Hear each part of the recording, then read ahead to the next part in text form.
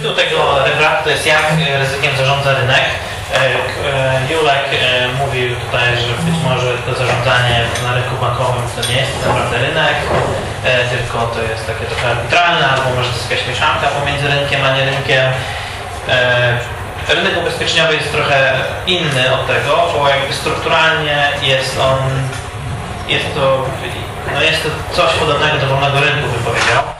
Oczywiście jest bardzo regulowany pod wieloma względami, ale nie ma na rynku ubezpieczeniowym czegoś takiego jak jakiś centralny ubezpieczyciel, który decyduje, jakie mają szczególne ceny za ryzyka.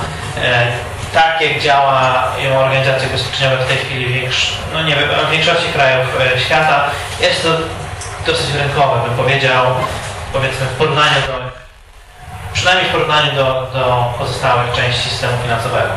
Dlatego e, będę mówił e, z perspektywy e, towarzystw ubezpieczeniowych i to będzie trochę różne od tego, co, co Państwo słyszycie, jeśli chodzi o system struktura tego, co chcę powiedzieć, to będzie następująca. Najpierw tak opowiem w skrócie, co o ryzyku mówi Mises w ludzkim działaniu i, i co ja o tym sądzę. Później przedstawię, jak można inaczej myśleć o ryzyku. E, I wydaje mi się w ogóle, że to inne myślenie o ryzyku jest coś takie kompatybilne z tym Jesusowym, ale jakby można by trochę wzbogacić nasze rozumienie, czym jest ryzyko. E, później powiem, jak wygląda rynek ryzyka, czyli jak wygląda przekazywanie ryzyka jednej osoby e, od jednej osoby do drugiej, albo od jednej organizacji do drugiej. Następnie powiem, jak wygląda wycena w tym procesie przekazywania ryzyka. I to opowiem na przykładzie konkretnej organizacji ubezpieczeniowej. Na końcu jeszcze e, podam przykłady dwóch spontanicznie wykształconych organizacji na tym rynku ryzyka. Jedna z nich to będzie organizacja e, nastawiona na zysk, a jedna to będzie organizacja nie nastawiona na zysk, ale obie mają e, charakter spontaniczny i taki dobrowolny. To, to, być może to przedstawi kilka pomysłów, jak ludzie takie problemy jak zarządzanie ryzykiem rozwiązują, kiedy, kiedy mogą, kiedy nie jest to centralnie planowane. Więc tak, e, e, w ludzkim działaniu, e, w, ludzkim działaniu w rozdziale Uncertainty zajmuje się ryzykiem ISS i tam on wprowadza podział ryzyka na, czy, czy uncertainty, czyli niepewności, ja będę używał terminu ryzyka, na, na zresztą dwa, on mówi, że dwa rodzaje ryzyka. Jest coś takiego jak case probability, jest coś takiego jak class probability. To case probability to, to najlepiej wytłumaczyć na przykładzie, on podaje cztery przykłady, co to znaczy dla niego to case probability. I to są takie przykłady. Nie jesteśmy pewni, czy konkretny pacjent przeżyje operację, czy nie. To jest pewne ryzyko dla tego pacjenta, dla lekarza. Nie wiadomo, czy on przeżyje, czy nie przeżyje. To jest jeden przykład. Drugi przykład. Nie wiemy, czy kandydat X wygra wybory, czy kandydat, czy kandydat Y wygra wybory. Trzeci przykład. Czy zieloni wygrają mecz, czy żółci wygrają mecz. Czwarty przykład z, z hazardu. Jaka liczba wypadnie w ruletce przy tym konkretnym pokręceniu w tym momencie. Dla Misesa case probability to są to jest zagadnienie na temat, co się stanie w konkretnej sytuacji, która jest niepewna. A drugi rodzaj e, ryzyka, o którym e, pisze Mises, to się nazywa class probability. I class probability to jest taka sytuacja, że wprawdzie nie wiemy nic o jednostkowych zachowaniach, takich jak na przykład, czy ten konkretny pan Zdzisław przeżyje operację, czy nie, ale e, wiemy o całej klasie zachowań, że jeśli będziemy mieli takich panów Zdzisławów 10 tysięcy, to wiadomo, że około 6 tysięcy z nich przeżyje, a 4 tysiące niestety nie. E, I konkretnie, dokładnie, dokładne sformułowanie czy definicja, której mi się używa, to jest taka, że, e, że in class probability we know everything about the behavior of a whole class of events. I tutaj podkreślam everything, dlatego że e, moim zdaniem to jest, taka, to jest nieprecyzyjny język. To znaczy, język jest precyzyjny, ale jest, on nie przystaje do tego, jak w rzeczywistości działa rynek ubezpieczeniowy i to wprowadza y, pewien bałagan, mm, w, e, moim zdaniem, w, w tą terminologię dotyczącą ryzyka Misesa. I on tutaj, żeby, żeby przedstawić, co to jest class probability, to podaje dwa przykłady. Pierwszy przykład e, to jest taki, że jest e, loteria, na przykład tutolotek, albo jakaś, może jeszcze prościej, jakaś taka loteria, że, że na przykład jest 100 losów, 5 losów jest wygrywających. Tutaj organizator loterii rozdaje losy 100 osobom I co prawda on nie wie, czy konkretny los wygra, czy nie wygra, ale wie na pewno, że w sumie jak te wszystkie losy zbierze, to będzie tam 5 wygrywających, a 59 nie wygrywających. To jest taka sytuacja właśnie class probability, dlatego że organizator loterii może wie wszystko na temat klasy wszystkich wydarzeń, a ta klasa to jest 100 konkretnych losów. Wie wszystko, co musi wiedzieć na temat, mianowicie, że jest tam 5 wygrywających. I to jest przykład, który e, moim zdaniem jest dobrym przykładem na to, co Mises wydaje mi się, że chce powiedzieć. E, a drugi przykład, który podaję, to jest firma ubezpieczeniowa, która zna tablicę śmiertelności w populacji, więc dokładnie wie, ile osób w jakimś tam wieku umrze w ciągu najbliższego roku. I te, te dwa przykłady Mises podaje jakby w jednym, e, jakby to jest e, ciąg jednego rozumowania. Moim zdaniem te na przykład są bardzo różne i tutaj ja powiem o tym drugim przykładzie i tłumaczę, dlaczego tutaj moim zdaniem Mises miesza dwa pojęcia. Troszkę, w pewnym stopniu. Więc ten drugi przykład moim zdaniem jest niedobry. I teraz go wytłumaczę. Dobra. Problem z drugim przykładem jest taki, że oczywiście ani firma ubezpieczeniowa, ani nikt inny nie ma nigdy całkowitej wiedzy na temat tego, jak zachowa się klasa jakichś wydarzeń. E, I e, wszystko, co wie, e, powiedzmy, ubezpieczyciel na temat tego, jaka będzie wysokość szkód z wypadków komunikacyjnych w najbliższym roku, to wszystko, co ubezpieczyciel na ten temat wie, to wie tylko stąd, że analizuje dane historyczne i zakłada, że te dane historyczne będą z grubsza odzwierciedlały to, co się zdarzy w przyszłym roku. To założenie nie jest takie złe, dlatego że ono się sprawdzało w przeszłości i dużo firm ubezpieczeniowych tak robiło, jakoś one przetrwały. Wydaje się, że to jest rozsądne założenie. Czyli na przykład powiedzmy na polskim rynku komunikacyjnym jeden na pięć samochodów każdego roku e, bierze udział w kolizji i tak, i tak było 20 lat i tak będzie w tym roku też. I w następnym też. Chociaż może się to pomału zmieniać, no ale to założenie oczywiście ma sens. No ale e, ubezpieczyciel nigdy nie wie tak naprawdę, czy to będzie 20% samochodów miał ten wypadek, czy może 23, czy 17, czy 19, więc musi to wyestymować z danych historycznych. Tutaj na tym wykresie widzimy e, na osi X, e, to jest w tysiącach, e, wielkość historycznego portfela ubezpieczyciela, a na osi Y jest miara pewności, co do której ubezpieczyciel może mieć, e, którą ubezpieczyciel może mieć co do e, e, swoich przewidywań przyszłej szkodowości na podstawie historycznych szkodowości. To jest na przykład taki ubezpieczyciel średniej wielkości, który tam ma powiedzmy 50 tysięcy pojazdów w swoim historycznym portfelu, może z tej, z tej grupy 50 tysięcy pojazdów z dokładnością średnio około 5% ustalić, e, jak, jaka będzie e, oczekiwana liczba szkód z tego portfela. Więc na przykład on może powiedzieć, no mam 50 tysięcy pojazdów, średnia szkoda to będzie 1000 zł, bo 5 samochodów nie będzie miało kolizji, 4 samochody nie będą miały kolizji, jedno, jedno będzie miało kolizję na 5 na 500, na 5000 zł, więc średnio będzie, e, średnio oczekuje, że koszt e, obsługi zapewnia ochrony ubezpieczeniowej jednemu pojazdowi to będzie 1000 zł, ale może to być 1005 zł, albo, znaczy może to być 1050 zł, albo 1100 zł, a może to być 900 zł. Średni błąd przy takiej, e, e, przy takiej wielkości portfela dla ubezpieczyciela to jest około 5%. E, no i tutaj to, to jest moment, w którym ten case probability pojawia się, poprzez proces estymacji parametrów potrzebnych do mówienia czegoś o class probability. Dlatego, że to, czy, e, czy, ta, czy ta średnia w przyszłym roku to będzie 1000 czy 1100, to już jest takie samo jak to case probability. Jeżeli mówimy o jakimś konkretnym portfelu, to się zdarzy tylko raz, to nie będzie powtarzalne, to co się darzy w przyszłym roku. E, I to jest tak samo unikalna, unikalne pojedyncze wydarzenie, jak wydarzenie, co wypadnie w ruletce przy następnym pokręceniu. Tego się nie da uniknąć w działalności ubezpieczeniowej. Część założeń, które ubezpieczyciel musi, e, e, musi zrobić, żeby móc prowadzić swoją działalność, ma taki charakter spekulacyjny. E, I, i takie czyste class probability, jakim w Mises, po prostu nie występuje w przyrodzie, poza może przypadkami takich zupełnie zaprojektowanych przez człowieka jakichś na przykład gier losowych, gdzie dokładnie wiadomo, że jest tyle losów, gdzie jakby struktura gry jest zamknięta, że wiadomo ile jest losów, wiadomo ile jest wygrywających, wtedy rzeczywiście wszystko można powiedzieć, że wiemy o, o klasie wydarzeń. A jeśli jest taki otwarty problem, jak ile będzie szkód komunikacyjnych albo ile ludzi umrze na raka, to nie mamy tej pełnej wiedzy i dlatego ten proces, dlatego zawsze to jest zmieszanie tego case i, i class probability e, i jest to raczej dominu i raczej to występuje w przyrodzie niż takie czysty przykład plunge probability. E, no a Mises jakby, Mises używa tych przykładów ubezpieczeniowych kilka razy w różnych miejscach, e, moim zdaniem wprowadzając trochę, no trochę taki, trochę taki nieład terminologiczny. Dobrze, no więc znaczy, to oczywiście ma swój walor dydaktyczny, ale dobrze jakby widzieć to szerzej trochę. Dobra, więc teraz e, powiem jeszcze, co moim zdaniem, e, przynajmniej na, na moją znajomość Misesa, czego jeszcze brakuje u niego, a co jest bardzo ciekawą e, sprawą, jeśli mówimy o ryzyku.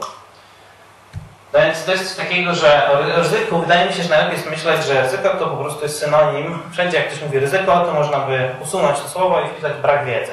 Ktoś mówi ryzyko jakieś, ryzyko płynności, to może powiedzieć brak wiedzy na temat, jakie będą problemy z płynnością. Albo ktoś mówi ryzyko śmiertelności, to znaczy, że nie ma wiedzy na temat, jaka będzie śmiertelność. To jest to, jest, to, jest, to, jest, to, jest to samo. No, I przykłady ryzyk tutaj, które sformułowałem, zaczynając od słów nie wiem, żeby zwrócić uwagę na to, że ryzyko oznacza rzeczywiście nie wiem.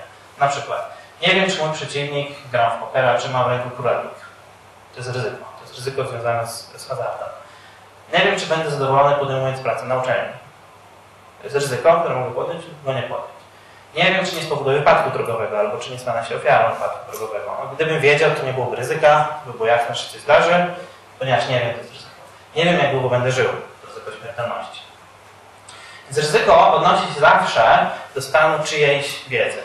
I to jest ważne, dlatego że to znaczy, że pewne zdarzenia mogą, w zależności od stanu wiedzy mojej, mogą być ryzykiem dla mnie lub nie być ryzykiem dla mnie, zależnie od tego, jak dużo ja wiem. Co więcej, pewne wydarzenia mogą być ryzykiem dla osoby jednej, a nie być ryzykiem dla osoby drugiej. E, I tutaj są takie przykłady na to. E, trzy, trzy przykłady e, tutaj chcę podać. Na to, że pewne zdarzenie, że ryzyko to nie jest coś obiektywnego, to jest jakby subiektywna rzecz, o której jest sens tylko mówić w odniesieniu do czegoś stanu wiedzy. Pierwszy przykład to jest taki, że powiedzmy, że mamy transakcję sprzedaży samochodu. Że ktoś ma samochód, powiedzmy używany, i go sprzedaje w Autogiery Dolnośląskiej. No i teraz e, z perspektywy, no i pytanie jest takie, czy ten samochód ma uszkodzoną e, na przykład skrzynię biegów w jakiś taki sposób, który się okaże, za jakim, na przykład czy on był, czy on był e, e, brał udział w wypadku drogowym, w związku z tym jest jakieś tam głębsze uszkodzenie w nim, o którym, o którym nie wiadomo. Więc to jest ryzyko dla kupującego, a nie jest to ryzyko z perspektywy sprzedającego.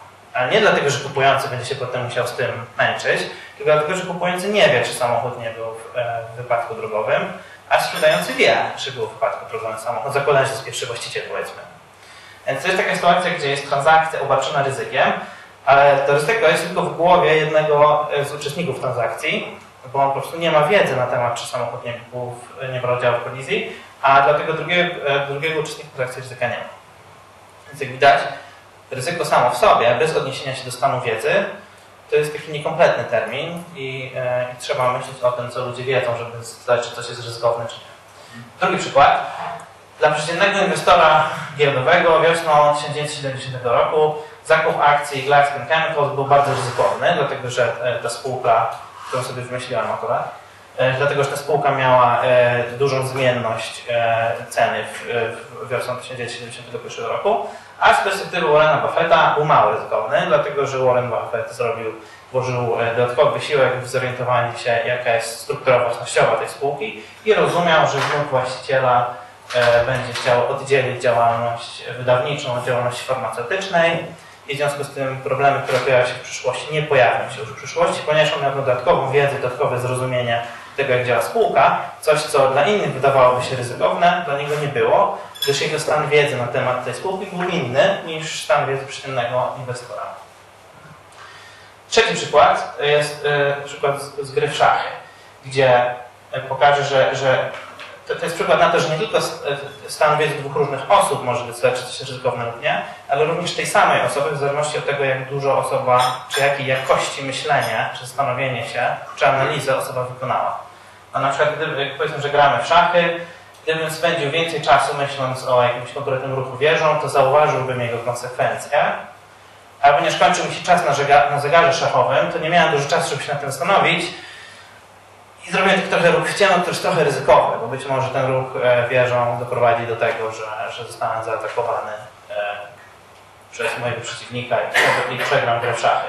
Ale gdybym dłużej się zastanowił, gdybym miał trochę więcej czasu, to bym odkrył, że ten ruch wieżą jest niedobry albo dobry i wtedy to działanie miałoby bardziej charakter pewnego działania zaplanowanego niż, niż ryzykownego. Co też jest taka sytuacja, że to jest ryzykiem tylko dlatego, że moja wiedza nie jest wystarczająca, żeby, żeby mówić o tym zdarzeniu jak o pewności. Dobrze. Więc to, czy coś jest ryzykiem, czy nie jest, jest funkcją stanu wiedzy. E, I to jest, to jest, to jest taki element, to jest taka myśl, którą chciałem się z Państwem Dobra, teraz powiem o tym, jak wygląda przekazywanie ryzyka na rynku ubezpieczeniowym. E, no więc pierwsze pytanie dlaczego w ogóle istnieje rynek ubezpieczeniowy, dlaczego ludzie e, przekazują sobie nawzajem ryzyka i są trzy takie główne powody. Pierwszy jest taki, że ktoś może mieć inną wiedzę na temat pewnego przedsięwzięcia i, i przedsięwzięcie może mu się wydać mniej lub bardziej ryzykowne niż nam i dlatego coś może być ryzykiem dla mnie, a nie być ryzykiem dla Ciebie i dlatego Ty możesz chcieć ode mnie to, co ja uważam za ryzyko kupić e, i e, po prostu inaczej rozumiemy rzeczywistość. Drugi powód może być taki, że, e, że, że, że dwie osoby mają różną, różne preferencje do podejmowania ryzyka. Jedna osoba jest bardziej konserwatywna, a drugiej nie przeszkadza narażenie się na ryzyko. I trzeci powód jest taki, że dla kogoś ryzyko, dla kogoś moje ryzyko nie jest ryzykiem w sensie tym case probability, ale częścią klasy, czyli czymś zbliżonym do tego teoretycznego modelu class probability Misesa. I ten trzeci powód e, jest często ważnym powodem na rynku ubezpieczeniowym.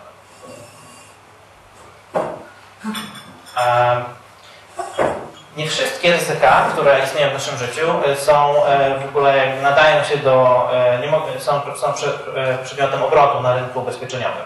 I tutaj podałem kilka takich przykładów ryzyk, które nie, które nie są, nie, nie, nie mogą być przedmiotem obrotu. Pierwszy to jest taki, straty kogoś z powodu podjęcia błędnych decyzji biznesowych. E, czyli jeśli ktoś tutaj, e, tutaj e, Pan mówił, że Pan tutaj działalność gospodarczą prowadzi, pewnie wiele z tych osób, ta, takie ryzyko, że, że się Pan pomyli i wszystko odwali, takiego ryzyka nikt od Pana nie kupi. To jest Pana ryzyko. Ono, nie da się go przekazać nikomu. Pewnie w jakimś stopniu może trochę, ale generalnie to jest do Pana przywiązane i tego się nie da przekazać poprzez rynek ubezpieczeniowych. Chociaż jest to ryzyko jak najbardziej, ale ono jest do Pana przypisane i koniec. E, złe samopoczucie kogoś wynikające z jakichś, e, z wyboru partnera, czy z jakichś innych po prostu niefinansowych rzeczy, to jest oczywiście też ryzyko, też się go nie da przekazać. Zniszczenia majątków w wypadku jakichś ogromnych kataklizmów, nie w wypadku globalnej wojny termojądrowej, oczywiście takiego ryzyka się nie da przekazać, bo nie istnieje w ogóle kapitał, który fizycznie w naszej rzeczywistości nie istnieje kapitał, który mógłby e, ochronić przed tego typu jakimiś wielkimi zniszczeniami. E, ubezpieczenia od rzeczy, e, czegoś takiego, co nie, czego nie da się obiektywnie ustalić, na przykład bólu pleców. E, to, to ubezpieczenie niestety jest często dodawane na, na przykład w, w przepisach ubezpieczeniowych często jest powiedziane, że, musz, że tego typu ubezpieczenia muszą, że tego typu problemy powypadkowe muszą być objęte w ubezpieczeniu, podczas gdy same, gdy, gdyby nie było to wymagane poprzez e, ze strony regulatora, tego typu ryzyka nie, nie, nie mogłyby być obracane na rynku, dlatego że one nie mają cechy, e, nie, nie, nie da się obiektywnie stwierdzić, czy ktoś plecy bolą, czy nie. Jest bardzo dużo, e, jest bardzo dużo nadużyć z tym związanych, dlatego że ktokolwiek bierze udział w wypadku, zawsze może przyjść do bezpieczyciela, powiedzieć, że bardzo bolą plecy i prosi o odszkodowanie z tytułu różnego rodzaju e, strat e, i tego, się źle czuje, na przykład w wysokości milionu funtów. No i to potem oczywiście nie kończy na milionie funtów, ale na przykład się kończy na 100 tysiącach funtów. E, no i jakby ubezpieczyciel jest kompletnie bezbronny przeciwko czemuś takiemu, bo wystarczy, że ten poszkodowany przedstawi zaświadczenie, że rozmawiał ze swoim lekarzem i powiedział mu, że go bolą plecy i lekarz przyjął to do wiadomości. E, oczywiście no, to troszkę, troszkę tak jakby to dramatyzuje, to nie jest aż tak źle, ale tego typu e, ryzyka, chociaż są faktyczne, one nie, nie byłyby w naturalny sposób e, obracalne na rynku. E, straty Karola wynikające z się starych opłat w samochodzie. To też nie jest ryzyko, ale pewność w tym przypadku. I też rządy czasami wymagają, by tego typu straty były objęte polisami ubezpieczeniowymi. E, no na przykład e, ubezpieczenia grupowe czasami jest wymagane, żeby było ochrona bezrobocia, żeby była zapewniona. I w pewnych sytuacjach to, to ma taką cechę ochrona bezrobocia, że, że jest ryzykiem, a w pewnych nie jest. Na przykład jeśli ubezpieczamy jakąś firmę, o której wiadomo, że jest blisko bankructwa ale to ryzyko czasami musi być zapewnione, co sprawia, że te, tego typu jakby segment rynku ubezpieczeniowego no, jest jakoś tam upośledzony. No i zależnie od tego, jak, jak bardzo poważne jest to upośledzenie, to, to albo będzie miał duży wpływ, e, albo nie. Ale to są rzeczy, które w naturalny sposób nie byłyby przedmiotem obrotu rynku ubezpieczeniowym. Więc jakie muszą, jakie, jakie ryzyka, więc podsumuję, żeby ryzyko dało się przekazać na rynku, to muszą być następujące fakty spełnione E, przedmiot ryzyka musi być obiektywnie obserwowalny, musi być mierzalny w pieniądzu, ubezpieczalny nie może mieć kontroli nad występowaniem strat i straty nie mogą być dynamicznych rozmiarów. Jeśli te, jeśli rzeczy są spełnione, to, to można takim ryzykiem obracać. Dobrze, więc teraz powiem o tym, jak wygląda, e, wy, wy, wy, skoro wiemy już, jakie ryzyka mogą być obracane na rynku, to teraz jak wygląda w praktyce e, wycena takich, takich ryzyk przez rynek. Więc ja to opowiem na przykładzie konkretnej organizacji, którą znam mm, i, e, i po prostu pokażę, jak wygląda struktura organizacji, jak to konkretnie wygląda, kto podejmuje decyzje, w jaki sposób, na podstawie jakich informacji. Żebyście Państwo wiedzieli, jak, jak, działa, jak działa taka podstawowa funkcja firmy ubezpieczeniowej, jak, jak taryfikacja, czyli, czyli wycena e, ubezpieczeń, czyli wycena ryzyka. Wycena ryzyk. Więc e, taka najpierw bardzo e, po prostu ogólna wizja.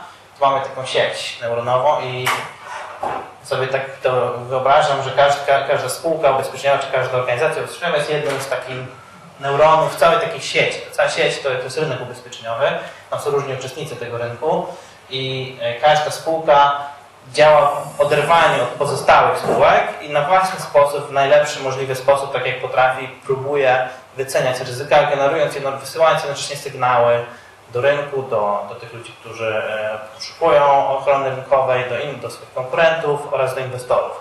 Także to jest taka sieć, w której mamy ubezpieczycieli.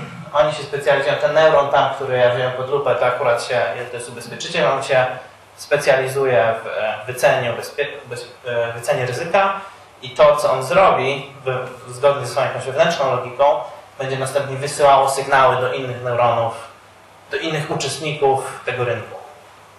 Teraz ja chcę zbliżyć się na, e, e, spojrzeć bliżej na jeden konkretny neuron, na jedną konkretną organizację e, na tym rynku ubezpieczeniowym. Tam ja, ja w siedzę akurat.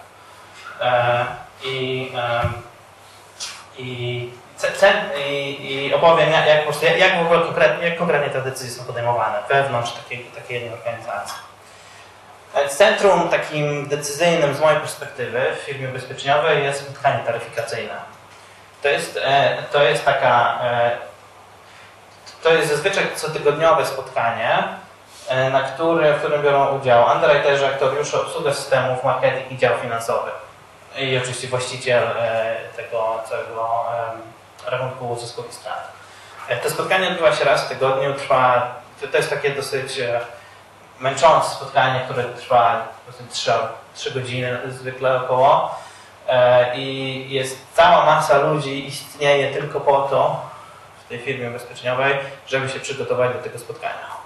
To znaczy dla około ci, ci tutaj szefowie każdego z tych działów, każdy w sumie dysponują powiedzmy około 10 analitykami, których jedyny sens bycia w tej firmie to jest przygotowywanie materiałów do tego spotkania, zastanawianie się nad tym, co tam widać w różnych trendach, analiza raportów, tworzenie ich itd. Tak Także to jest jakby główna, główny mózg, e, mózg organizacji ubezpieczeniowej to jest to spotkanie, które ma swoje zasoby, czyli e, analityków, którzy jedynie, którzy, którzy po prostu przygotowują e, się cały czas na okrągło do, z jednego spotkania do następnego.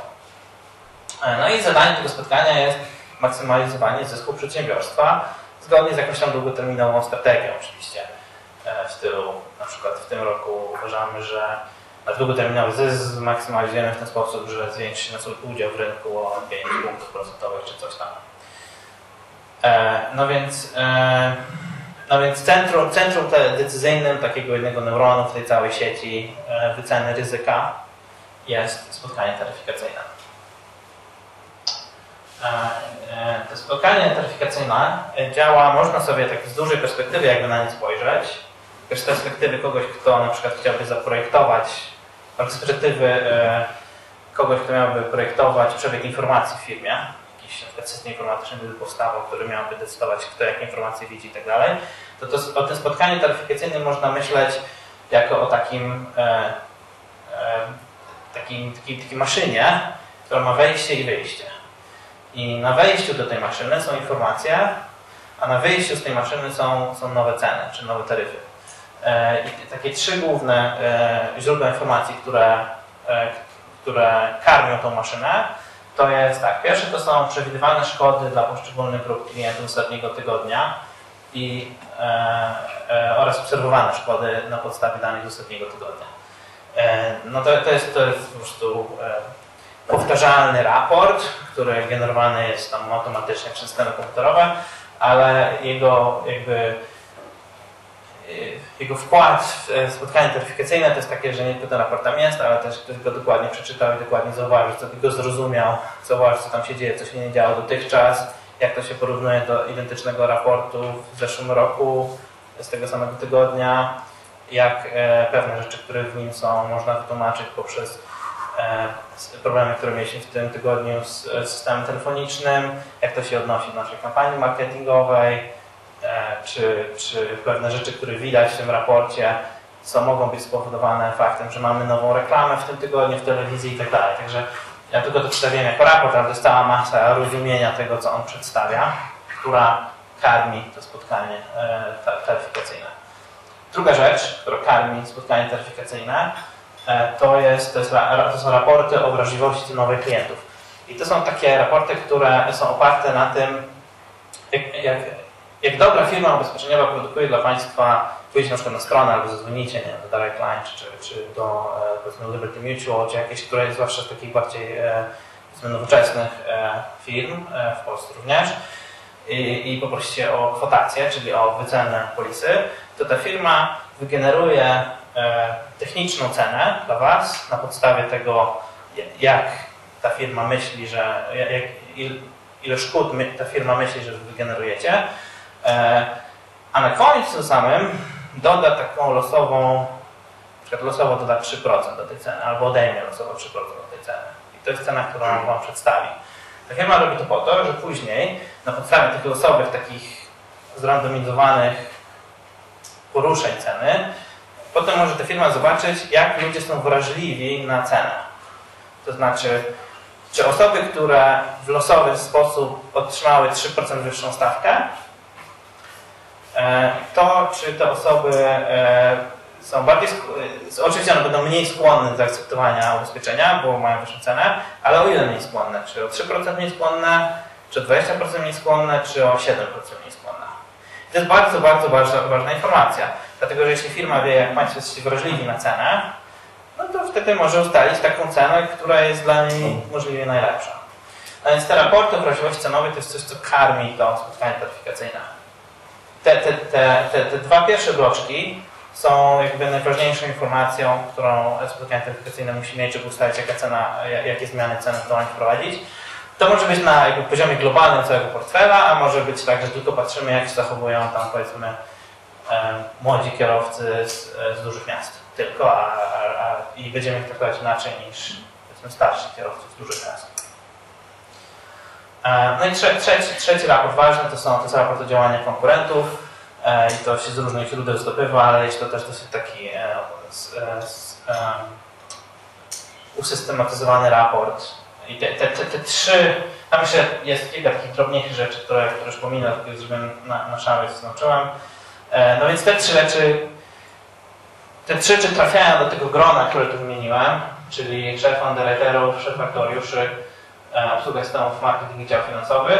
No i prostu dyskusja na temat tego, jaka jest teraz najlepsza strategia, żeby zrealizować nasze cele, e, i jakie problemy, jakie problemy są, jakie problemy zakładamy, że wystąpią, jakie zmiany są potrzebne i no i ta dyskusja to jest dosyć taka wyczerpująca, dlatego że każdy tam ma jakieś swoje własne spojrzenia na tą sprawę, pewne rzeczy są oczywiste, no to wtedy dyskusja jest nieciekawa pewne rzeczy są kontrowersyjne, każdy tam ma jakiś swój styl i swoją własną rozumienie, jakie są najlepsze sposoby działania, często wyniesione z poprzednich firm itd. Tak w każdym razie ta dyskusja tam po kilku godzinach kończy się tak, że jest podjęta decyzja, że zmieniamy tym ludziom, tych, tych ludzi przenosimy z jednej grupy do drugiej, tym ludziom podnosimy o 3%, tamtym ludziom puszczamy o 5%, a jeszcze innym ludziom e, przestajemy ich w ogóle ubezpieczyć.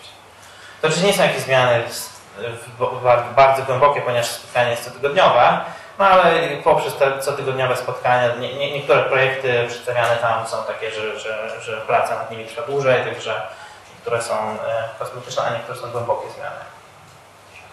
A to jest taki przykład e, trzech, trzech decyzji, e, które takich sztucznie skonstruowanych, no ale odpowiadających temu, jak w rzeczywistości takie spotkanie działa. E, więc e, schemat tej tabelki jest taki, że są trzy sytuacje. Tabelka pokazuje, co jest na wejściu do, tego, do tej maszynki, jak spotkanie taryfikacyjne, co jest na wyjściu, e, jaki to ma wpływ na firmę, jaki sygnał to wysyła do społeczeństwa. I to podzieliłem na do użytkowników ubezpieczeń do, do inwestorów, którzy rozważają zainwestowanie w rynku ubezpieczeń. No więc e, są trzy sytuacje. Pierwsze jest takie, że na wejściu, czy w którymś z raportów, widzimy, że szkody są wyższe niż oczekiwano. No to oczywiście e, e, efekt takiej informacji będzie, że podniesiemy ceny.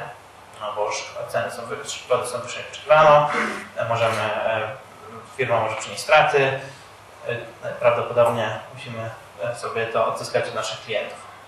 Wpływ na firmę zysk wzrasta, znaczy wpływ tego działania, jak podniesiemy ceny, zysk wzrasta. Sygnał jest taki, e, jaki, jaki to wysyła sygnał powiedzmy do użytkowników, powiedzmy, że mówimy tu o ubezpieczeniu samochodowym, jaki to wysyła sygnał do kierowców? No, że warto ograniczyć wytwarzanie ryzyk, na przykład nie kupować nowego samochodu. Oczywiście w zależności od tego, jak, jak, duży, jak duży wpływ e, nasza konkretna firma, o której mówimy, ma na rynek ubezpieczeń, no to ten, ten sygnał w do społeczeństwa może być minimalny, bardzo słaby, albo może być potężny.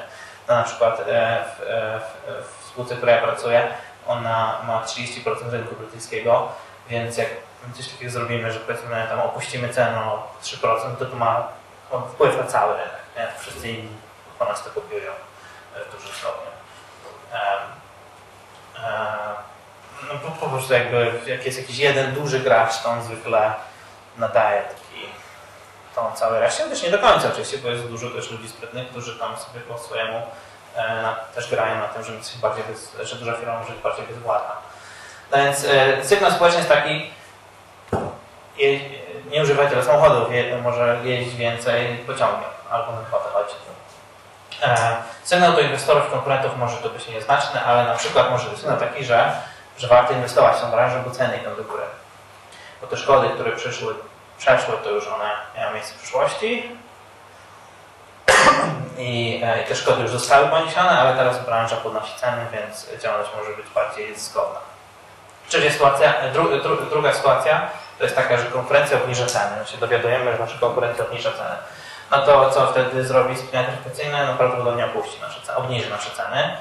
Jaki to ma wpływ na firmę? Zysk spada niestety, ponieważ obniżamy ceny, ale spada wolniej niż gdyby spadał, gdybyśmy my cen nie obniżyli. Dlatego, żeby się ceny nie obniżyli, no to by nasz udział w rynku się zmniejszył i w związku z tym nasz zysk by się również zmniejszył. E, sygnał, jaki to wysyła do społeczeństwa, to jest takie, że wytwarzanie ryzyk jest tanie. E, ceny spadają, a więc e, można kupić szybszy samochód na przykład, albo bardziej ryzykowny samochód, albo po prostu nowy samochód, dlatego, że jego ubezpieczenie będzie tańsze, a jest to jakiś tam zawsze mały czynnik przy zakupie samochodu również. Sygnał dla inwestorów jest taki, że nie warto inwestować w tą branżę E, w, oczywiście jakimś tam marginalnym stopniu, e, dlatego że ceny spadają, branża będzie mniej zyskowna. Trzecia sytuacja. Z raportu dowiadujemy się, że klienci są mniej wrażliwi, na, stają się coraz mniej wrażliwi na ceny. No to oczywiście ceny są podniesione, zysk wzrasta spółki, Sygnał dla użytkowników e, ubezpieczeń jest taki, że e, oni tego mogą nie zdać sprawy, ale to spowoduje ograniczenie ich brzegowej konsumpcji. To znaczy, jeśli cena ubezpieczenia kogoś wzrośnie o 20%, to ten człowiek ma o te 20% mniej pieniędzy, żeby sobie kupić na przykład e, ubrania nowe. Więc e, efekt te, tego działania jest taki, że on ograniczy konsumpcję na jakimś innym rynku, a z kolei dla inwestorów jest efekt odwrotny, sygnał odwrotny, że warto inwestować w, w rynek ubezpieczeniowy, dlatego że e, no, tam po prostu zyskowność rośnie. A więc to są takie trzy bardzo proste e, e, przykłady tego, jak ten centrum decyzyjne firmy ubezpieczeniowej przetwarza informacje. Co tu jest ważne, to że to jest przetwarzanie informacji. Można w takim bardzo prostym e, modelu sobie wyobrazić, że to jest program komputerowy, do którego się wrzuca te raporty i on je przetwarza i wypróba podnieść cenę, oprócz ceny. Oczywiście to jest bardziej dużo skomplikowane, bo taki każdy raport to jest tam 250 stron, nie? i żeby się przy niego przekopać, to trzeba dużo włożyć wysiłku. Zresztą nie, nie jest na takim etapie, żeby się to zaprogramować oczywiście, ale logika jest taka sama, czyli na wejściu są informacje, na wejściu jest pewne działanie i to propaguje informacje do innych e, użytkowników tej sieci, tej, tej sieci nerwowej. Dobra, no więc teraz e, jak jakby wytłumaczyłem jak działa, e, jak działa wycena ryzyka na tym rynku, to teraz opowiem o dwóch typach organizacji, e, które historycznie, z których historycznie wywodzi się większość rynku ubezpieczeniowego. Tak żeby zrozumieć, jakie jest instytucjonalne otoczenie tego, jak właściwie, skąd to się wzięło. I trochę takiego trochę takich intuicji bardziej, bardziej zrozumiałych, może czy, czy mniej analitycznych. No więc e, pierwszy przykład, o którym chcę powiedzieć, to są tak zwane towarzystwa ubezpieczeń wzajemnych, które zaczę, i, to, i to będzie polski przykład E, I to są takie organizacje, które e, zaczęły powstawać w połowie XIX wieku w Polsce. To były e, lokalne zrzeszenia przedsiębiorców z różnych branż. No wtedy gospodarka polska to była głównie w dużym stopniu rolnicza, więc ci przedsiębiorcy to byli często rolnicy albo właściciele jakichś tam większych gospodarstw rolnych. No ale nie wiem, fakt, że to były zrzeszenia przedsiębiorców, które nie były nastawione na zysk w ogóle, więc to jest też ciekawe. E, zaczęły one powstawać wbrew e, preferencjom czy wręcz e, żądaniom władz państwowych, wtedy soborczych władz państwowych i miały często taki trochę polsko-patriotyczny wydźwięk. Ale nie, nie, zawsze, ale trochę tam był taki klimat, że no na przykład, na przykład czytałem, że w zaborze rosyjskim to było tak, że było tam kilka dużych spółek ubezpieczeniowych, które były kontrolowane przez dwór carski i im się bardzo nie podobało, że powstawała w tym samym czasie jakaś samoorganizująca się grupa jeszcze i to jeszcze oczywiście z pretensjami jakimiś tam e, też politycznymi, no dlatego że, że oparta na jakimś tam w stopniu na, na tożsamości e, narodowej. No więc, e, no więc właśnie te tytuły powstawały często wbrew, wbrew preferencjom lokalnych władz państwowych takie cztery przykłady tuwów, e, to e, chyba udało mi się zebrać właśnie z, trzech, e, z wszystkich trzech zaborów. Pierwszy to był Warszawskie Stowarzyszenie Ubezpieczeń Gradowicia.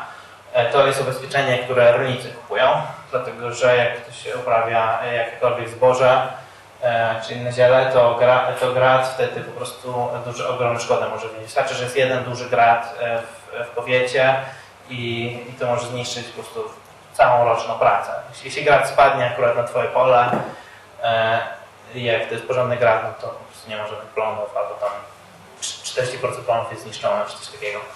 Więc to jest duży problem dla, dla rolników. No i oni się po prostu zrzeszali, żeby, żeby wszyscy spłacali składkę i ten nieszczęśnik, którego to dotknęło, no to tam mu rekompensowali te straty.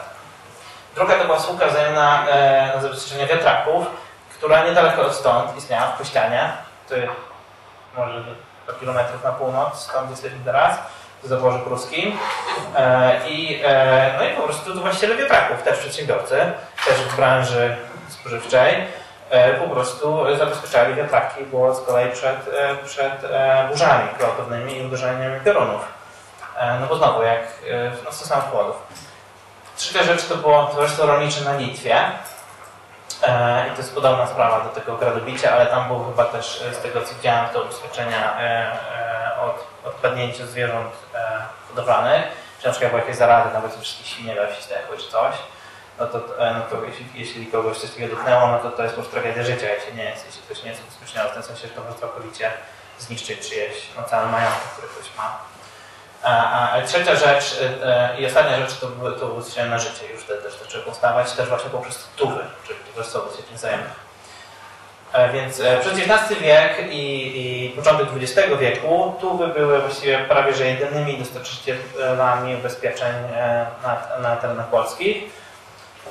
I one, jakby ich zmierzch się rozpoczął w 1921 roku, kiedy Sejm wprowadził Polską Dyrekcję Ubezpieczeń Wzajemnych i to rozpoczęło kryzys tuwów, dlatego że ta dyrekcja po prostu zaczęła monopolizować ten rynek i, i mniejsze tuwy popadały. Ona się w końcu prze, przekształciła w powszechny zakon ubezpieczeń wzajemnych, który następnie został połączony z PZU i to zakończyło e, w ogóle tą, po prostu tuwy zniknęły. Po wojnie po prostu nie było żadnych tuwów i ten, ten rynek zaniknął. Spontanicznie wykształcony rynek e, e, wzajemnych całkowicie zniknął został zastąpiony, zmonopolizowaną państwową spółką e, Po 1989 roku e, w, w ramach e, była taka próba odbudowania trochę tuwów i tuwy są dopuszczane w, w polskiej ustawie o działalności ubezpieczeniowej, ale to już jakby nie jest to samo, dlatego że one po prostu tam jest dokładnie napisane, jak one mają działać i jakby ma małe swobody. Jakby one powstały w sposób organiczny, a teraz jest powiedziane, jest próba zreplikowania tego i to się tak nie za bardzo dało. Działa w tej chwili 9 tuwów w Polsce, e, także no lepiej niż zero. E, I e, członkowie tych e, te, te w tej chwili działają tak, że TUW to jest organizacja, w sensie osobowość prawną ma i ona zarządza tak zwanymi związkami wzajemności członkowskiej. Czyli na przykład największy polski TUW to jest, no się nazywa, nazywa TUW TUW, działa w Warszawie i on ma chyba, nie wiem, 20 czy ilość związków zależności członkowskiej. I to jest taka sytuacja, że jeśli jest jakaś grupa ludzi, która chciałaby się, ma jakąś nietypową sytuację, na przykład tutaj e, związek, jest Związek Członkowskiej Pielęgniarek Położnych, które ma, dlaczego mają nietypową sytuację? Mają nietypowe ryzyko, mają e, ryzyko odpowiedzialności cywilnej, który jest w bardzo dziwny sposób zdefiniowany, dlatego że ono wynika z tego, jak odpowiedzialność cywilną w danym momencie pielęgniarek definiuje jakaś tam ustawa odpowiedzialności zdrowotnej pielęgniarek, która się zmienia e, i one potrzebują bardzo konkretnej ochrony, która, której nikt inny nie potrzebuje, takiej ochrony akurat jak one, więc one się zrzeszają, jakieś tam pewnie przez jakiś samorząd pracowniczy, pielęgniarek czy coś, idą sobie do takiego tuftuwa, i tam negocjują, że, że chciałyby mieć taki, e, tak wspólnie się ubezpieczyć i tu, tu zapewnia administrację i osobowość prawną tego, ale pielęgniarki są takimi jakby właścicielami, czy, czy kierują, o, e, decydują o kierunku e, działania tego Związku Zależności Członkowskiej. Inne związki e, w Tuftuwie to jest, tam jest sześć terytorialnych związków rolników i hodowców, na przykład jest tam łódzki związek, zamojski, sieracki i jakieś jeszcze inne.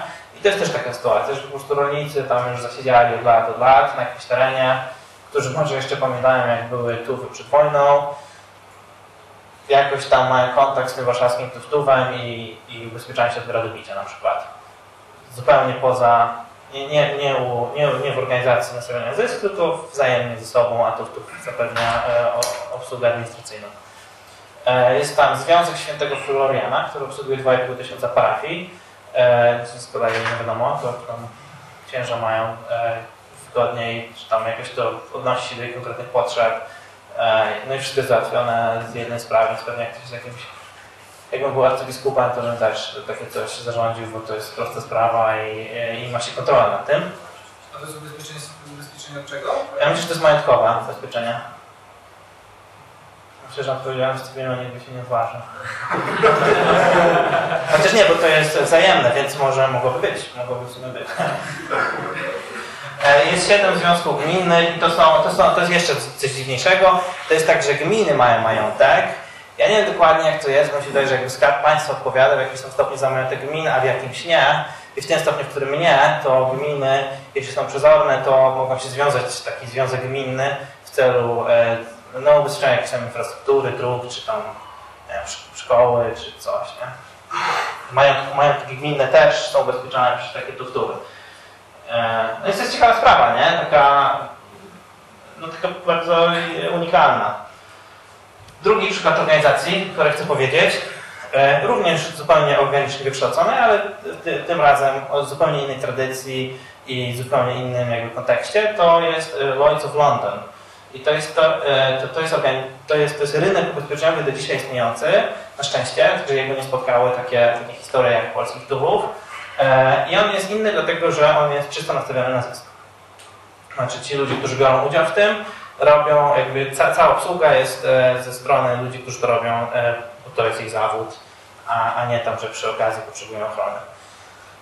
No więc, ale też rozpoczął się jako tułów właścicieli statków handlowych w kolonialnej Anglii. To, I to się stało tak, że był właściciel kawiarni, który nazywał się Edward Lloyds i on rozwieszał w swojej kawiarni wiadomości o losach statków handlowych. I tam na tym obrazku, to prawe kółko, które zakreśliłem tam w rogu, to nie wiem czy widzicie, ale tam stoją faceci, albo kobiety też może, i czytają e, z, e, z, na drzwiach, czy tam na ścianie są, e, są takie informacje, gazeta, gazeta, gazeta nie? I ta gazeta to, to była jedna z pierwszych w ogóle dzienników na świecie i to jest gazeta z e, wiadomościami na temat e, różnych statków handlowych, które są w drodze albo w drodze do Chin albo Indii. Te informacje przypływały do Londynu wraz ze statkami, które wpływały. Znaczy jak wpływa jakiś statek akurat z herbatą z Chin, a oprócz tego, że przywoził herbatę, to przywoził całą masę różnych plotek i wiadomości. Dlatego, że tam były wiadomości o tym, jakie on statki widział po drodze, co się działo w którym porcie po drodze. I te informacje wpływały razem ze statkami do Londynu. Edward Lloyd zbierał te informacje, wypisywał i rozwieszał w swojej. To sprawiło, że do tej kawiarni schodziło się mnóstwo ludzi, którzy byli w tym biznesie handlowym, czyli właścicieli statków, e, rodzin kapitanów statków, e, handlarzy, bankierów finansujących statki. No i to w naturalny sposób wykształciło się takie środowisko ludzi zainteresowanych sprawami statków. E, I oni, pierwszy, pierwszy etap formowania się tej działalności ubezpieczeniowej to był taki, że że oni po prostu założyli takie tuwy, że ja, ja miałem statek, ty miałeś statek, nasi rodzice robili interesy razem, to teraz jak mamy 20 statków, to się złożymy, jak jeden z nich się spali, czy tam zatopi w czasie sztormu, to reszta na, ci za to zapłaci. I te tuwy, te, te pierwsze, pierwsze grupy się nazywały syndykaty. I to były takie stoliki, to z kolei widać w tym, w tym lewym rogu. Tam jest e, po prostu stół, siedzi tam 3 czy 4 osoby, przy tym stole i oni spisują, jakie, jakie statki ubezpieczają, ile pobrali pieniędzy, komu wypłacili i tak dalej. Tam e, po, pomiędzy tymi dwoma e, żółtymi półkami widać dwóch gości rozmawiających się ze sobą, to e, może na przykład być właściciel statku negocjujący warunki z underwriterem, czyli z kimś, kto administruje tym stolikiem. E, warunki ubezpieczenia. No i jak widać ten, ten właściciel statku, ten w niebieskim, z taką, w takiej czapce na głowie, nie jest skazany na ten jeden stolik w tej kawiarni. Tam z tyłu jest więcej stolików, nie wiem czy, czy widać. E, I każdy z tych stolików może zaoferować inną cenę, może się zainteresować, a dlaczego pan nie poszedł do pierwszego stolika, czy jakiś jest problem tutaj. Może być tak, że jeden stolik z czasem się bardziej specjalizował w wyprawach do Indii, a drugi w wyprawach do Chin, albo jeden stolik bardziej się interesował dużymi statkami, a inny małymi i tak dalej. E, Więc ta, ta struktura stolików syndykatów przetrwała dzisiaj. Dzisiaj mieści się w swoim własnym budynku, to jest ten po prawej stronie, w, w, centrum Londynu. Ale do dzisiaj Lloyd zachował strukturę takich działających syndykatów. Te syndykaty dzisiaj działają tak, że działają przez rok. To znaczy zawiązuje się syndykat numer powiedzmy 83 i on działa od 1 stycznia do 31 grudnia 2011 roku, po czym zamyka się, nie przyjmuje więcej ryzyk, czeka dwa lata i rozlicza wyniki i zostaje zamknięty i znika. Jego miejsce, na jego miejsce wchodzi następny syndykat, który działa w roku 12, 2012, potem następny, który działa w roku 2013. To jest taka jednostka księgowa. I teraz, e, jeśli ktoś z Państwa jest zainteresowany e, zarabianiem na takim syndykacie, to może sobie pójść tam do tego Lloydsa i powiedzieć, ja chcę włożyć tam 10 tysięcy złotych w syndykat numer 83 i 20 tysięcy w syndykat numer 1015 i 30 tysięcy w taki a taki syndykat. Te pieniądze będą sobie siedzieć tam przez 3 lata. Ten syndykat ubezpiecza różne rzeczy, więc każdy musi jakby zdecydować, co uważa, że jest dobrym interesem. E, czy statki, czy pola naftowe, czy e, kopalnie węgla w Europie Środkowej. E, I no i po prostu to, jest, to, to w tej chwili tak działa. Czyli te stoliki nadal istnieją, każdy może jakby mm, dostarczyć swój kapitał do takiego stolika, a każdy z Państwa, jeśli macie jakieś dziwne ryzyko, może znaleźć odpowiedni stolik, stolik tam w tym budynku, gdzie ktoś się specjalizuje może w ubezpieczaniu takich dziwnych ryzyk, jakie Państwo macie. No na przykład jest to nadal, no no może nie jedyne, ale pewnie najlepsze miejsce na świecie, gdzie można ubezpieczyć na przykład satelity. Albo e, łydki skocz, skoczków fotycznych. Mój kolega na przykład ubezpiecza, e, pracuje takiego syndykaatu, który ubezpiecza e, różne części ciała sportowców. Z- Znanych oczywiście, nie? Którzy tam się boją, że ich kariera e, zostanie przerwana, bo tam złamią sobie obojczyk czy coś. To jest poważny problem dla kogoś, kto jest e, sportowcem. I, i, I są takie stoliki, syndykaty, które się tylko tym zajmują. I oni mają na przykład powiedzmy tysiąc naj, najbardziej znanych sportowców i każdy jakąś tam inną część ciała. Albo tam na przykład e, głos można ubezpieczyć, jak się jest piosenkarzem. I to jest, to jest nadal jedyne miejsce, czy najlepsze miejsce na świecie, gdzie takie rzeczy można zrobić. E, na przykład e, można ubezpieczać, jakby się kiedyś prowadził jakiś, pro, jakiś teleturniej, na przykład jakby się był producentem e, teleturnieju milionerzy, to można się tam ubezpieczyć na gdyby ktoś wygrał. I też są stoliki, syndykaty, które się specjalizują właśnie w takich ryzykach. Ponieważ to jest jedyne takie miejsce, czy najlepsze na świecie, gdzie takie rzeczy się dzieją, no to takich problemów jak, jak milionerzy, no to na całej planecie jest tam dużo, wystarczająco dużo, żeby, żeby się ktoś pożywił na tym, nie? No i tyle. E, także dziękuję Państwu bardzo.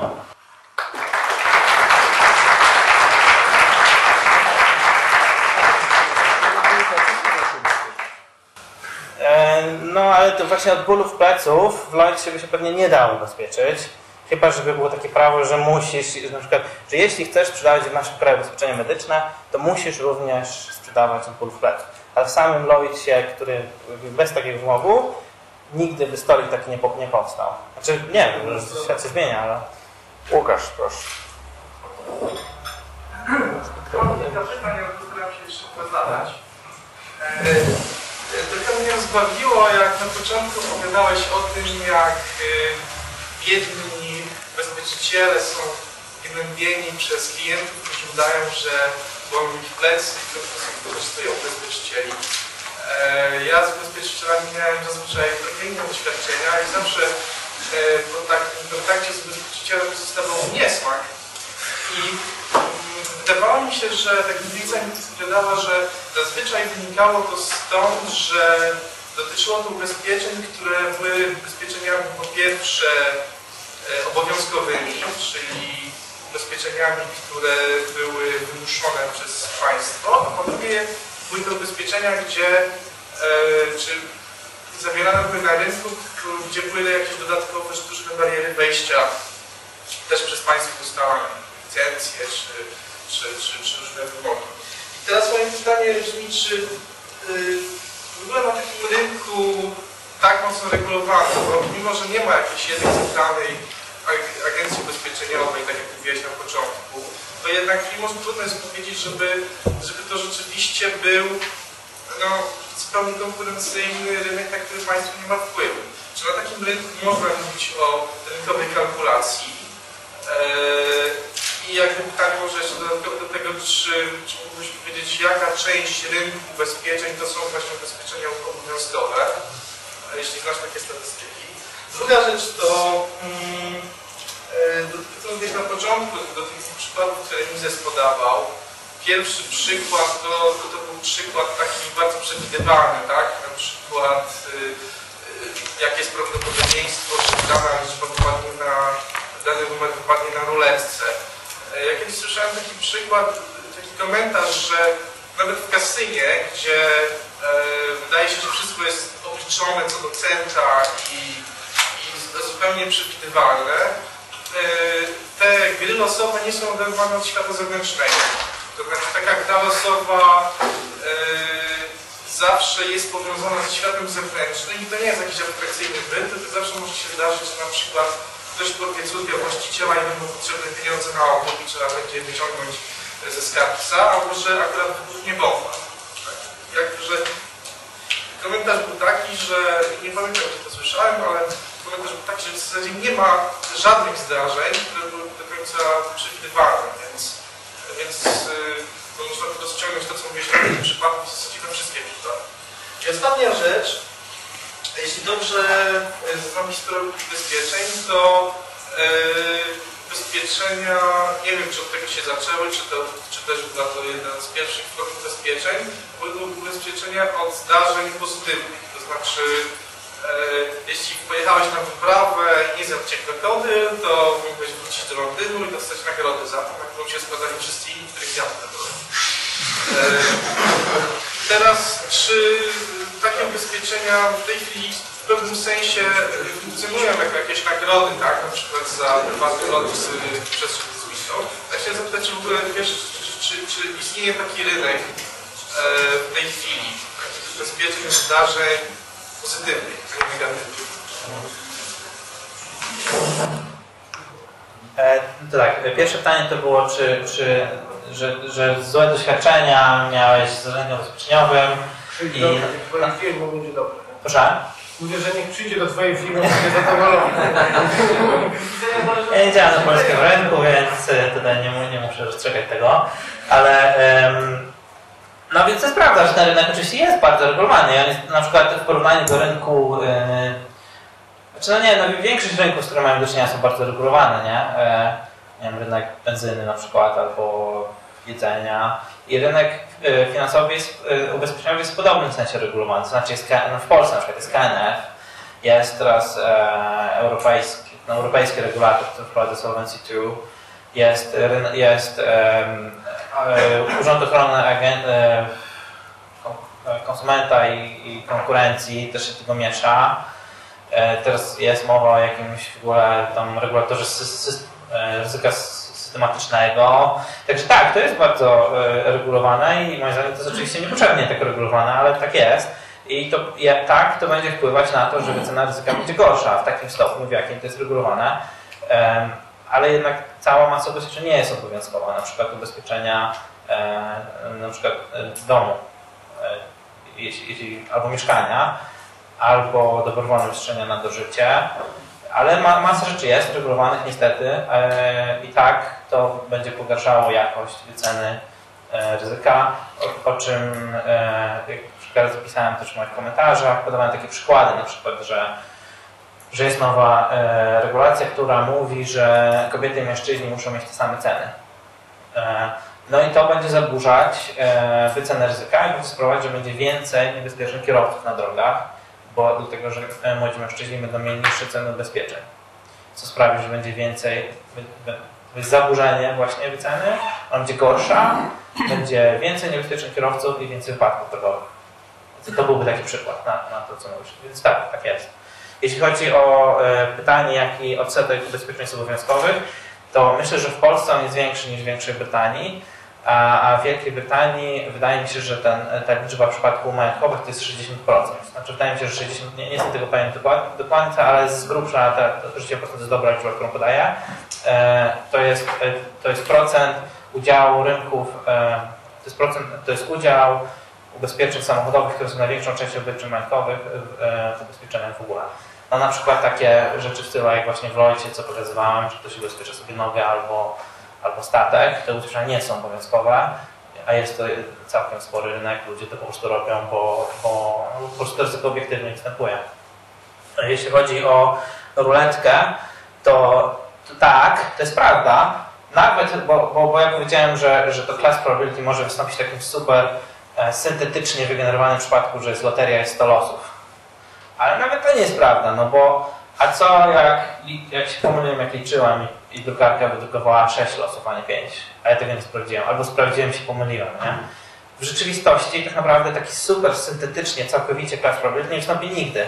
I to, co ty mówiłeś o ruletce, to jest tak właśnie jest, że, że nawet w ruletce, nawet w czymś takim, że policzę te losy trzy razy, zawsze jest jakaś mała szansa, że się pomylę. Ona jest oczywiście bardzo mała, więc to, jest, to, to takie class probability jest bardzo dobrym przybliżeniem takiej bardzo syntetycznej gry, ale też nieperfekcyjnym. Ale być może tak bardzo dobrym, że w sumie nie musimy się przejmować tym brakiem perfekcji, bo prawdopodobnie skończy się świat, zanim ten problem wystąpi. Prawdopodobnie Ale teoretycznie, że, ale teoretycznie rzecz biorąc, tak właśnie jest, że no każdy model jest tylko modelem, nie? I może po prostu nie przystać do rzeczywistości, nawet jak się wydaje bardzo logicznie i spójny. Karol? Je- Jeszcze tylko było pytanie o pozytywne przepraszam. E, to, e, no to zabezpieczenie na dożycie to jest e, przykład pozytywny, że, że wpłacasz składkę ubezpieczeniową, jeśli dożyjesz 50 lat, to otrzymasz pieniądze, jak nie dożyjesz, to nie otrzymasz. Karol? A potrzebuję mikrofon? No nie. Nie. E, Dobrze. Ja chciałem się odnieść do tego, o czym mówiłeś o Mizesie. To znaczy, bo ty powiedziałeś, że nawet teraz użyłeś odpowiadając na pytanie, że w zasadzie class probability nie istnieje. A istnieje tylko case probability. Strasznie cię to cieszy, też odkryłeś to. Ale pomijasz zupełnie to, co Mises potem, jakby, do czego Mises użył tego rozróżnienia, użył tego, że class probability zdaniem Misesa możemy jakoś policzyć. No bo możemy policzyć częstości i tak dalej, i tak dalej, i tak dalej. A mamy na to dobre modele matematyczne, które pozwalają liczyć class probability. Natomiast case probability nie mamy, tak? Skoro ty mówisz, że nie ma class probability, wszystko jest case probability, no to odpowiedz teraz na pytanie, jak wy ubezpieczyciele liczycie. Bo jeżeli odpowiedź, że liczy to rynek, nie jest dobrą odpowiedzią, no bo na tym rynku mogą wariaci tam, spekulanci tak sobie spekulują. Ja uważam, że to jest tam 3 nie wiem, procent. To jest jakieś tam ryzyko. No więc e, class probability nie ma w rzeczywistości. Często jednak taki model intelektualny, że to zjawisko dobrze by opisało następujące class probability jest pożyteczny, bo chociaż on nie jest pełnym odzwierciedleniem tego, co się dzieje, to jest dosyć użyteczny. Po prostu się dobrze sprawdza w większości przypadków. Więc to jest takie rozróżnienie pomiędzy tym, co jest naprawdę rzeczywistości, a jaki my mamy model w głowie, czy rozumienie tego, co się dzieje. I ten model w głowie oparty na class probability może być bardzo dobry, albo wystarczająco dobry, żeby na miliard przypadków tylko raz się pomylić, albo na trylion przypadków tylko raz się pomylić. Więc ubezpieczyciele, kiedy rozwiązują taki problem, przyjmują pewien model i mówią, ubezpieczenia samochodowe działają tak, że jest prawdopodobieństwo wys- wy- wystąpienia szkody, a potem jest szkoda z rozkładu gamma o takich parametrach.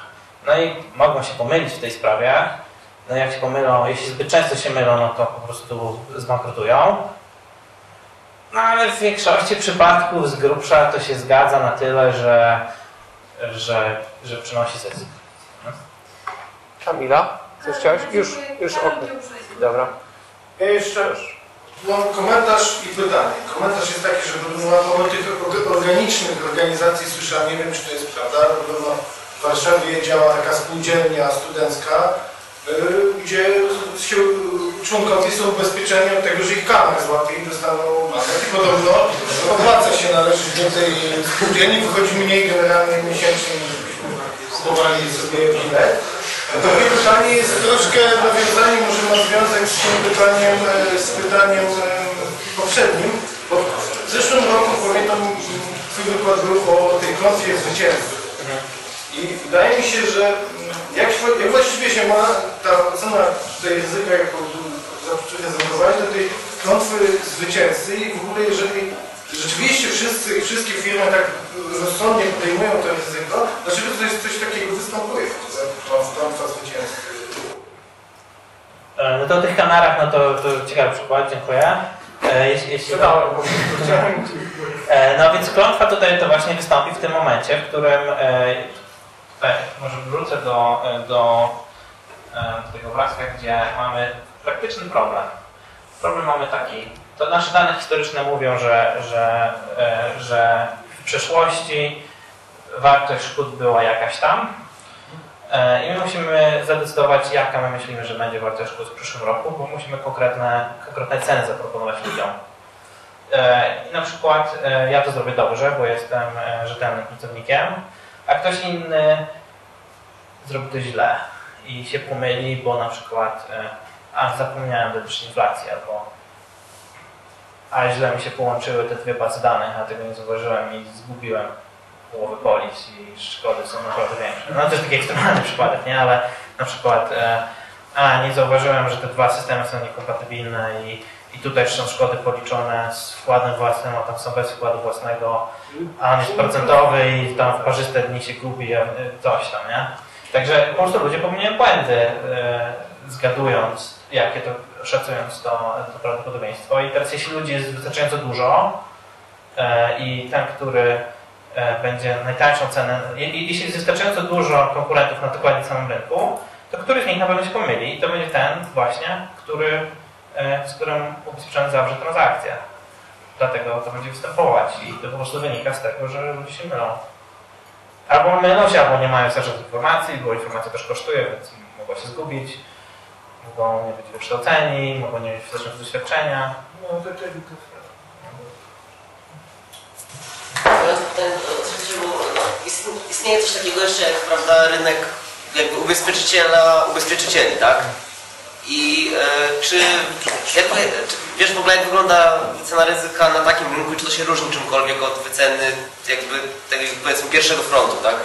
Tak, no, no to jest rynek reasekuracji i e, niektóre z tych stolików tej kawiarni zajmują się tylko reasekuracją albo specjalizują się w reasekuracji. Wycena reasekuracji wygląda tak samo identycznie, tylko że nie interesuje nas ile, ile szkód będzie miał jakiś konkretny samochód, tylko nas interesuje ubezpieczyciel z tego regionu świata, który specjalizuje się w takiej linii produktowej, ile on będzie miał szkód. No i tam powiedzmy trochę na inne informacje się patrzy, bo ważne jest na przykład bo nie patrzeć na poszczególnych kierowców, tylko się patrzy jaka była inflacja na tym całym rynku, więc informacje na które się patrzy są troszkę inne, a zasada działania jest identyczna. Ale właśnie jak wygląda przepływ, w sensie y, jak dużo jakby informacji taki reasekurat musi zdobyć od tych, których ubezpiecza, Mhm. Y, żeby być w stanie to ryzyko jakoś pomiernie wycenić w porównaniu, no bo wiadomo, że nie wyciągnie już aż tak dobrych estymacji danych ogólnorynkowych, tak? Ale on też, ale on też nie potrzebuje takich szczegółów, bo reasekuracja zwyczaj polega na tym, że e, ubezpiecza się na przykład tylko, powiedzmy program reasekuracyjny w firmie X polega na tym, że ubezpieczamy tylko szkody powyżej 2 milionów funtów. Więc on tak naprawdę nie musi wiedzieć wszystkiego o kierowcach, jemu wystarczy wiedzieć ile mniej więcej było w Wielkiej Brytanii szkód, e, szkód e, personal injury powyżej 2 milionów funtów. I ten, wystarczy. ten, ten margines błędu się trochę ucina, tak? No tak, no dużo, dużo, jakby dużo rzeczy odpada, inne informacje są potrzebne, nie do końca te same. Też, też, no, to, to, to też, e, też jest tak, że informacje przepływają później do takiego e, reasekuratora, bo często już jest tak, że zanim szkoda trafi do sądu i ten pierwotny ubezpieczyciel ją rozwiąże, to trwa 3 lata, zanim reasekurator się dowie, że w ogóle taka szkoda była. Także no jakby to, to jest ten sam mechanizm, być może działający wolniej i trochę na innych się koncentrujący informacji. informacjach. Pan profesor, proszę. Ten. Y, Jak pan widzi podobieństwa różnicę między tą mistrzowską koncepcją case class probability, a kołsowskim ryzykiem, a niepewnością? Czy to one mniej więcej w tym samym czasie po, po, po, powstały i czy są jakieś y, Czy mogę, czy mogę przybliżyć e, tą osobę? Robert Coase, mówił o pojęciu i rozróżnieniu pomiędzy ryzykiem a niepewnością. On mówił, że ryzyko to się dało pisać e, pewnym rozkładem prawdopodobieństwa, a niepewność jest taką, e, takim e, pojęciem, gdzie e, no, jest, czy sytuacją, gdzie tego e, rozkładu po prostu się nie da. E, Jesteś, wydaje mi się, że to jest dokładnie, dokładnie to samo, ale jak, jak pan to widzi? Nie, nie, nie, nie do końca prawie się odnieść do tego, co mówił Gaz, bo po prostu nie znam tego, ale ja tak to rozumiem, że jakby pierwszy etap to jest jak sformalizować, patrzymy się na rzeczywistość, więc jak to sformalizować i to, i, ten, i to, i to rozumowanie formalizujące rzeczywistość może być obarczone błędem. Jak już jest sformalizowane, no to już wtedy jest łatwo, już wtedy są symbole matematyczne, które wliczają e, mnóstwo rzeczy. I to class probability niestety dla mnie jest to drugie, już jakby już coś jest, jest sformalizowane i tylko przeprowadzamy kalkulację, żeby coś tam wyliczyć. A case probability to jest część tego case probability to jest takie, to, czy, ten nasz model, który mamy w głowie tego, jak działa e, rzeczywistość, czy on przystaje do tego, jak rzeczywistość rzeczywiście działa. I być może to jest to, co Pan nazywa uncertainty. Tak, to, tak to, to widział, ale nie jestem do końca przekonany, że to jest tożsamość. Dlatego Mhm. sam się, sam się proceduje na... Warto wydaje mi się, że nad tym popracować spróbować porównać tą kołsowską i nicysowską. Wojtek? Ja mam pytanie, że underwriterzy czym się zajmują, tak? E, Fajna nazwa. No to oni się zajmują podpisy... podpisywaniem się zajmują. Halo? Zajmują się podpisywaniem e, po prostu, czyli oni, po pro- to jest taka sytuacja, że, że, ty, że ty masz jakieś ryzyko, na przykład samochód chcesz ubezpieczyć, albo, albo tankowiec i przychodzisz tam do tego Lloydsa, wybierasz sobie biurko, bo ci ktoś powiedział, które biurko jest dobre do tego i oni cię przepytają na okoliczność, co to jest bankowiec, gdzie on stoi, jak jest duży, jak jest wykształcona załoga, e, ile mil on przepływa rocznie i tak dalej. Czy jakie miał szkody w przeszłości, jak on jest skonstruowany, czy, jest, czy ma podwójne zbiorniki, czy pojedyncze zbiorniki. Oni decydują, czy chcą to ryzyko wziąć, czy nie chcą tego ryzyka wziąć i na jakich warunkach. Potem te ustalenia są pierwsze umowy oni jakby tworzą tą umowę, warunki umowy tworzą, nego, no, no, proponują ci. Y, Takie osoby, które bezpośrednio właśnie tym się zajmują, y, to są specjaliści, prawda? No, no tak, dlatego są właśnie te różne biurka i po prostu w każdym biurku siedzą ludzie, którzy, ja się znam na polach naftowych w Wenezueli. Przepraszam, tego underwritera, bo to jest jakaś analogia do underwritera przy emisji akcji, no bo to nie ten underwriter bezpośrednio, często tak, znaczy też tak może być, ale zwykle to nie underwriter sam kupuje te akcje, tak samo tutaj nie underwriter kupuje to ubezpieczenie, oni tylko negocjują, oni potem to sprzedają swoim klientom. Tak, więc on, on jakby pełni funkcję selekcji ryzyka, ale zazwyczaj oni są bardzo mocno, ich, ich wynagrodzenie jest powiązane z wynikiem tej, tej księgowej jednostki, tego syndykatu. Gdzie się oni przy, przyjmą złe e, ryzyka na księgi swoje, to też będą źle wynagrodzeni. Także on, e, nie, nie jestem pewien, czy odniosłem się do twojej do obserwacji w sumie. Nie, że no to była hipoteza, dlaczego to się nazywa underwriter, tak? Chyba Bo on jakby jest, on ma, e, on jest upo- upoważniony do tego, żeby w imieniu syndykatu czy firmy przyjąć pewną, podpisać pewną umowę, e, ustalić warunki umowy i ją w wiążący sposób zawrzeć. Ja się chciałem zapytać, jak widzisz różnicę między ubezpieczeniami a sekurytyzacją? Bo tam podałeś przykład rzeczy, której nie można ubezpieczyć, czyli sytuację, gdzie tam jakaś pani yy, nie może ubezpieczyć tego, że podejmie złe decyzje biznesowe. Podczas gdy tak naprawdę to, co widzimy, to, że takie złe decyzje biznesowe są yy, ubezpieczane właśnie poprzez sekurytyzację. Znaczy mówisz o sekurytyzacji yy, kredytu, tak? To znaczy czego? Czyli, że bierzemy kredyt, no bo to trzeba język ustalić, żeby, żeby było jasno o co chodzi. Czy mówisz o czymś takim, że, że, że bez obligacje dzielimy na jakieś kawałki i, ubezpieczyciel ubezpieczy? No. No, no to moim zdaniem to nie jest e, działalność ubezpieczeniowa w, jakby w właściwym sensie tego słowa i pewnie nie jest przypadkiem, że firmy, które za bardzo się w to zaangażowały, jakby ucierpiały na tym. I mi się wydaje, że to nie jest klasyczna działalność ubezpieczeniowa, bo to jest taka działalność bardziej jak, jak ta wojna termojądrowa, że po prostu jak się coś stanie, to się wszystko rozwala i nikt nie ma tego kapitału, żeby to sfinansować. Ale firmy w to weszły z różnych tam powodów, e, pewnie częściowo jest, wiesz, nie każdy patrzy też na długoterminowy zysk. No, każdy, na przykład każdy ma jakąś tam swoją własną, e, każdy popełnia błędy. Firma ubezpieczeniowa. Również, tak. Jeszcze jakieś pytania ostatnie na koniec? A w mechanice kwantowej nie ma klas probability idealnego? Pojęcia. Takiego absolutnie, bo tam mamy, nie wiem, jak gdyby... No, ale bo te trzy kwestie, związane z mechanice kwantowej, to które już mnie naciągnąłeś na filozoficzną sytuację, to też jest kwestia wiedzy, nie? Bo być może ktoś kiedyś wymyśli, że tam to można wytłumaczyć. To właśnie oni twierdzą, że, że jak gdyby nie ma, nie ma czynników innych towarzyszących, które można go uwzględnić. Przy rzucie monetą zawsze można powiedzieć tam, że tu wiatr, tam ktoś Ale to jest kwestia wiedzy tylko, jakby, jak my głęboko to rozumiemy, nie? Być może ktoś kiedyś zaproponuje jakąś inną teorię i się okaże, że... Oni się zarzekają, że...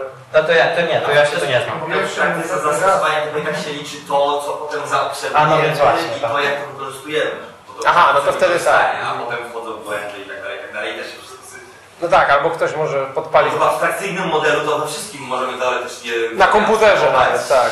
I jeżeli mielibyśmy wszystkie zmienne, nie mamy. Tak, można podpalić pudełko, w którym kod Schrödingera ma być, tak. Tak. No nie wiem, może mechanika kwantowa, ale to jest jakby świat, który bardzo mnie nie, nie dotyczy. To było egzotyczne pytanie na koniec, bo nikt nie chciał innego zadać.